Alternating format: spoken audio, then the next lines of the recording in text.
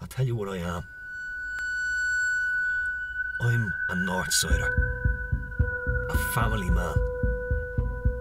I box out of Weftra, West Finglas. I'm not a junkie. I'm not a criminal. I'm a boxer. Someone has to stand up for the Northside lads and say, we're decent people. So now, for this fecker from Galway. Friday night is fight night.